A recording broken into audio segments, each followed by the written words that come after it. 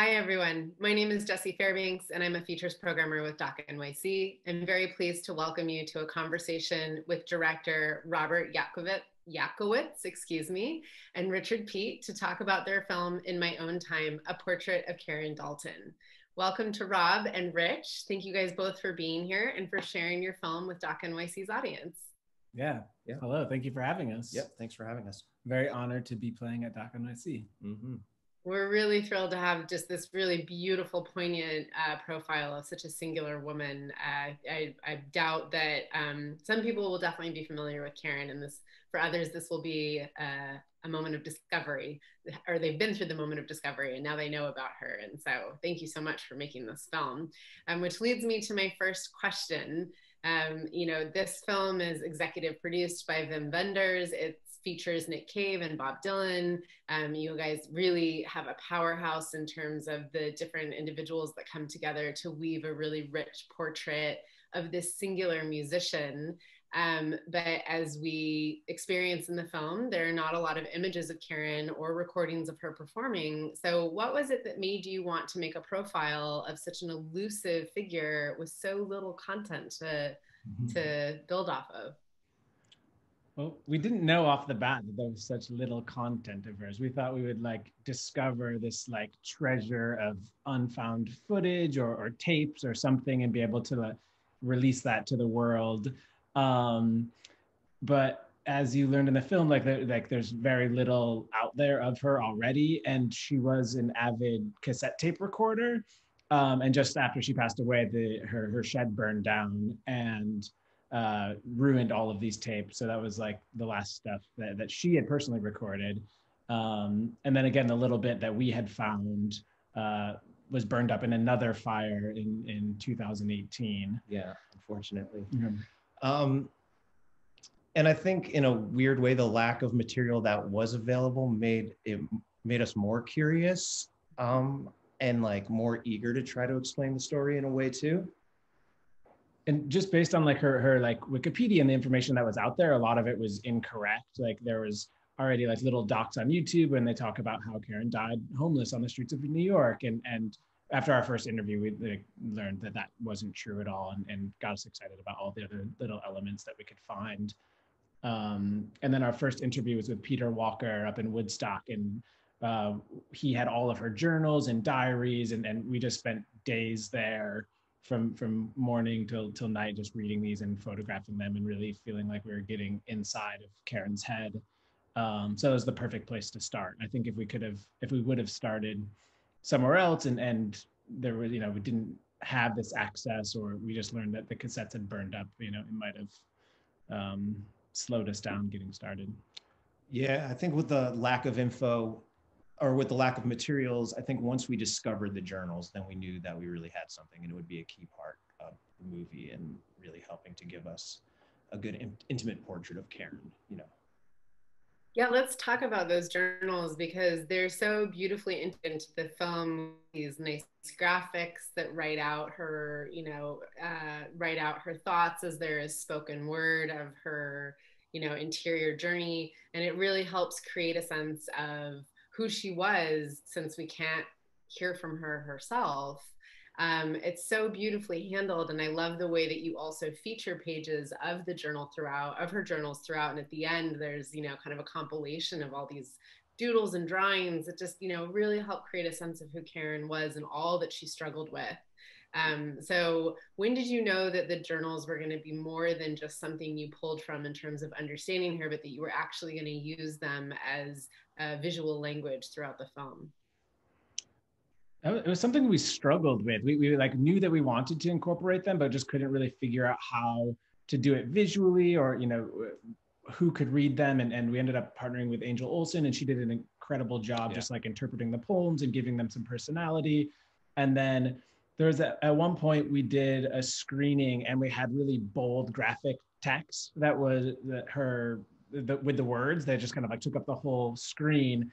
And it was very controversial at the screening. Like some people loved it some hated it. And ultimately we decided it wasn't like really in karen's style or her her voice. And and we partnered with our friend mark baker and and he ended up uh, doing the final graphics for us where she, we scanned her actual journals and and um, he he gave it that treatment that kind of felt like it was from the time period, but still um, was like visually interesting and and really helped elevate the the way that we told those those pieces of the story.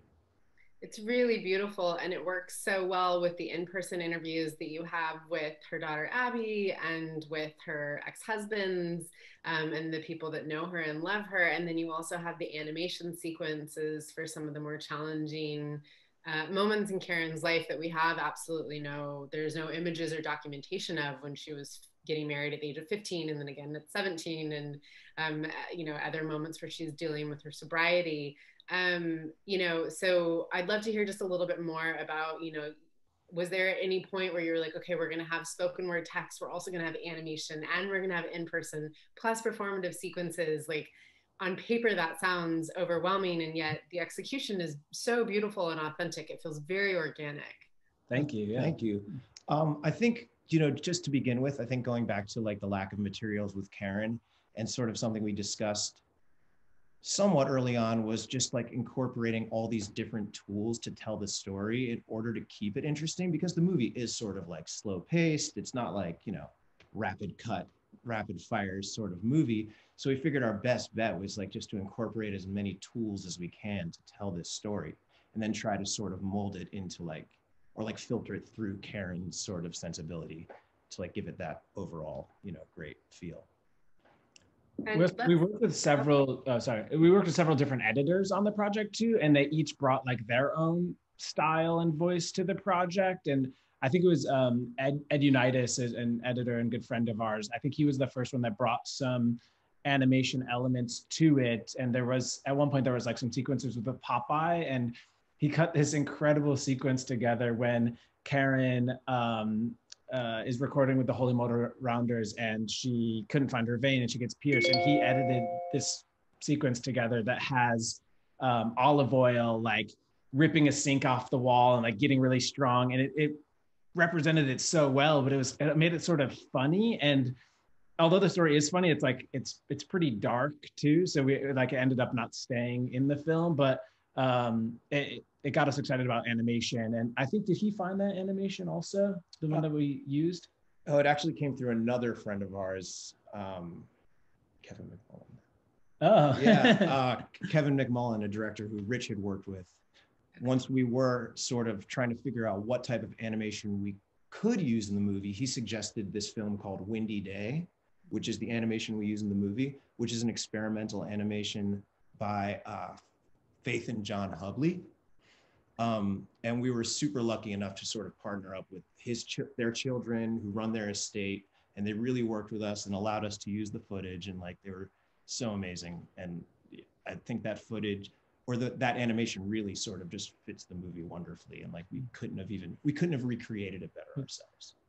Yeah, it's really incredible. Tango also. Yeah, yeah. Because John and Faith Hubley's daughter, one of uh, their daughters is Georgia Hubley from Yo La Tengo, which is also a nice connection because they're also fans of Karen's music as well. So it's sort of like a nice little serendipitous thing that worked out there.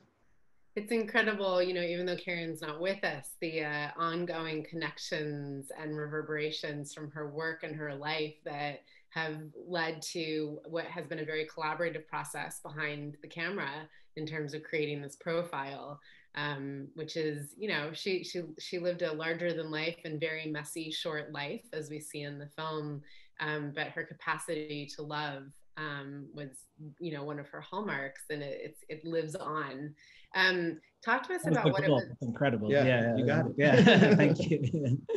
Um, talk to us about what it was like engaging her former husbands and her um, abby and her granddaughter as well as conversations that you may have had with other members of her family and what it was like getting them to talk about some of the most challenging moments of their life yeah, it was we when we first decided to work on the doc um, or to really pursue it and, and make it a film.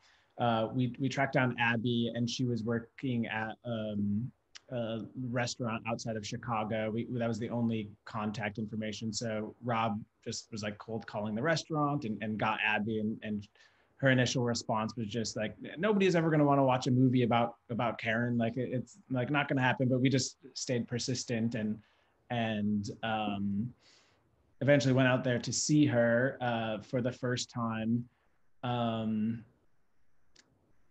hmm, I don't even know what year it was. yeah, yeah, no, that's just it, it's tough. Like she's um,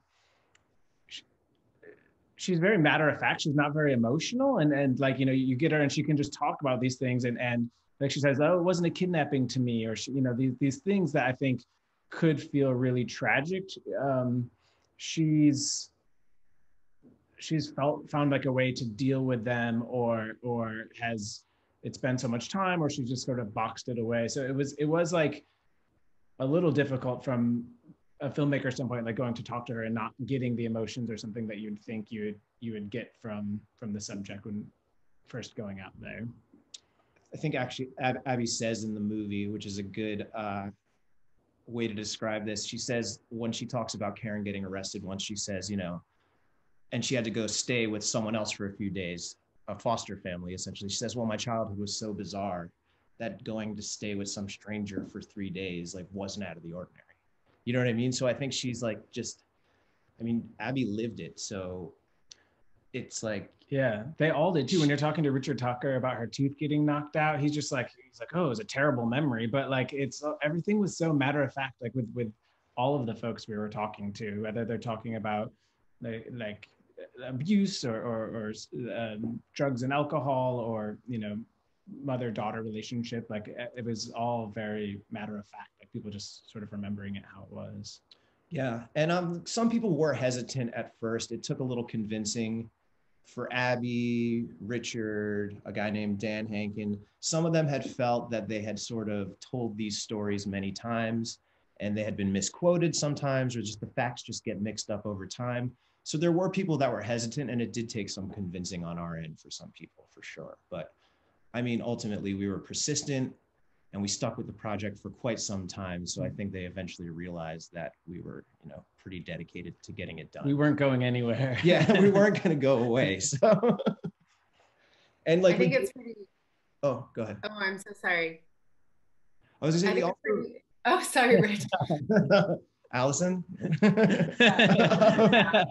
um, no, we said like we did have long we were in course had correspondence with Karen's brother as well, who was going back and forth about be, being you know interviewed for the film, but he did give us a bunch of photographs and a bunch of materials and stuff like that. Um, as well as her son, we were in contact with on and off for a long time and went back and forth with him on interviews as well. But he um, is sometimes hard to get a hold of. I feel like we got the most emotion out of out of contemporary musicians who who just like understand Karen from her music and and the way that their music has affected them. Like it, it, they were the ones I feel like they were like really touched by her voice and and her her songs. Yeah, I think it's uh, you know it's really incredible. It's a testament to both of you um, especially since you know Rich and Rob, you are both men. That you made a film about a woman who could very easily be viewed as a tragic figure, as a victim, and instead the film actually shows her as a warrior and a fighter and a woman who lived on her own terms, who did not want to be defined by others, um, who selected her lovers, who who made her choices about parenting and about her career. Um, and that is, you know, it was trailblazing in the day. It still feels very fresh and original in these times, unfortunately, to have a woman um, be so unapologetically herself. Mm-hmm. Um, even though it cost her a lot emotionally um, and success throughout throughout her life, but uh, you know, I just you know, there was something that really resonated with me in watching the film.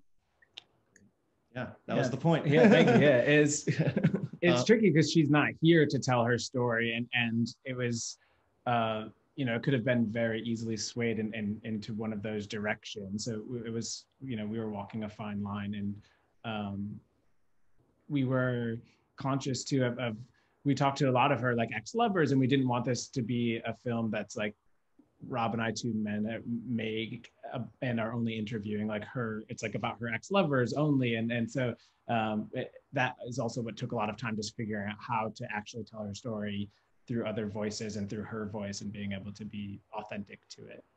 Right. How do you give agency to someone who's not here and yet who would have, uh, you know, very much so and adamantly requested her own agency. Oh, yeah, yeah certainly. Yeah. I mean, that's that's where the journals come in, though. Like you said, that's like her voice really in the movie. Aside from the few brief moments we hear her speak on the radio interviews, which is very brief. Um, I mean, the journals are her voice, so we just tried to.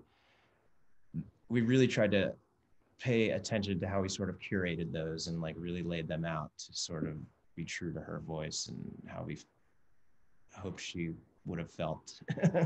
yeah, like, I think again that speaks to the fact you had so many collaborators behind the screen with you, so many different women also working on the project, and so many people who knew um, Karen herself, who could um, perhaps you know add add thoughts if if they felt like things were veering in a way that perhaps was not authentic to Karen. Yeah, certainly. Absolutely. Peter Walker, who sort of run, runs Karen's estate. He was a huge help with that. He spent, you know, the last years of her life with her. He spent a lot of time with her journals and poems. He was the person who was in possession of them. Um, and he was a great help with that sort of going through those and trying to figure out, you know, those things. And then having Tracy and and Abby, our producers, they, they were very hands-on throughout the oh, entire absolutely. process. And and um, yeah, a- Abby was the first person that that partnered with us and and the, the first trip up to go see Peter Walker. It was Rob and, and Abby and I, and uh, Rob crashed the minivan into the side of a snowbank, and and it took like five hours to get out, and we were super late, and and uh, Abby kept it all together, and and essentially how we like fell in love with Peter Walker, and he or he fell in love with us, just like you know we were laying it all out there. yeah, the van was like literally stuck in a mm-hmm. ditch like between a giant rock and the side of the road. A tow truck had to put a giant line to it and Rip pull it out. Abby was probably like, "Yeah, this fits. This fits with." It's a cool day one. Um, the last question for both of you is that you know this film is not only a biopic on the incredible Karen Dalton, but it also is a love letter to a very specific time in New York City when artists, um, when blues artists, when beat artists, beat uh, Nick artists were having a moment when there was a certain level of freedom of expression and mobility and um, some of the obstacles that musicians face now in terms of access and finance were not present. Um, you hear uh, Bob Dylan talk about that in the film, and Nick Cave hints at it here and there. But why did you? Why was it important for this to also feature? You know, a subplot of uh, this historical moment in New York's history. Well, I think you know that era of New York City is a huge part of Karen's life. It's sort of what helped her figure out her path. Like she knew what she wanted to do, but when she went to New York, even though things maybe didn't work out as she wanted them to at that time, I think just being around those people sort of helped her to understand the path that she wanted to take in her life and gave her an opportunity to meet other people that were doing the same thing. I mean, also aside from it being like, you know, just historically one of the most amazing periods mm-hmm. in time that everybody can mm-hmm. fall in love with pretty easily if we're, they know enough about it. We're also both New Yorkers, and it, it's like you know we we love the history of New York in that time period specifically. But it's also fun. Like we've both been there for like 15 years, and and you have your own period of time that you're there, and and um, it's just like I don't know. It's it's fun to just be a part of it and and make sure that we're like helping tell the New York story as well. Mm-hmm. Yeah, and the sense of nostalgia as someone who also spent over a decade in New York, it's you know our own experiences, and then we hear these stories of what the city was like before us in so many different ways, and so um, it's just a beautiful addition. I know our audience really loved that. Um, I wish we had more time to talk about it, but thank you both so much for making a film about Karen Dalton. Otherwise, she would have been unfortunately probably relegated to the annals of musical history, and uh, we wouldn't have known what an incredible uh, woman she was and what an insane life she led. Um, so please put your hands together for the directors, Robert Yapkowitz and Richard Peete. Thank you so much for making your film in my own time, a portrait of Karen Dalton, and bringing it to Doc NYC. Yeah, awesome. thanks for thank you so us. much for having us. Mm-hmm. There's lots more Karen music out there. There's a new box set. Go go check it out. Oh yeah, there's a box set that just came out. You know, search the internet, check out all the music. It's not all in the movie. We will do. Well, thanks, guys, and uh, um, tell everyone, tell your friends about the film. Yeah, yeah. thanks for having us. Thank you.